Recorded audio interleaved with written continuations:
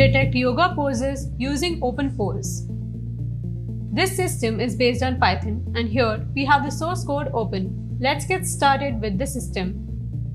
The user can upload an image of a yoga pose. The system will detect the pose and key points will be shown as the output along with the pose name. The system can also perform real-time detection of yoga poses.